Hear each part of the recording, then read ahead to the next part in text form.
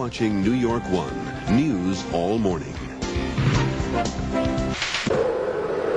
It has not been a good year for the dot-coms, but one website is thriving, possibly because its goal has absolutely nothing to do with making money. Here's our Tech Beat reporter Adam Balkin, who introduces us to a selfless website and the selfless man behind it. Knowing that I'm helping others to help other kids, that feels good as well, and I think that's that's my hobby. People go to the gym, uh, people go to movies. I do this Nearly every day, Shimmy Mehta comes home from his at least eight-hour workday at PricewaterhouseCoopers and stays up until 2 in the morning working his second job, making absolutely no money. Mehta started and runs a website from his home called angelwish.org. It allows you, in just a few clicks, to buy a holiday or birthday present for kids living with HIV or AIDS.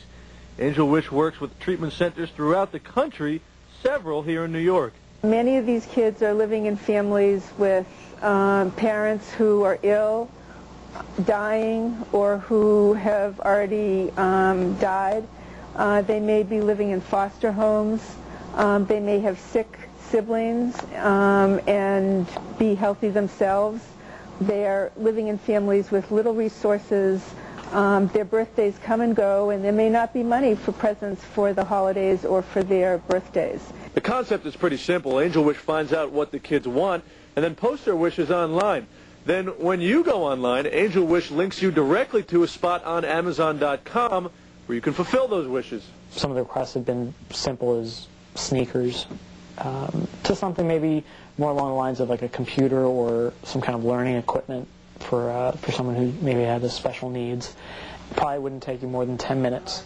You'll see wishes from that vary by age, by price. You'll click on that add to your basket icon and you'll go through the um, purchasing um, segment of Amazon.com. You can uh, you have the option to gift wrap that item for the child, add a note if you'd like to wish them happy holidays or happy birthday, and click purchase and you're done. So through technology, a 25-year-old spends all his free time so you can spend very little of yours helping others. In Manhattan, Adam Balkin, New York 1.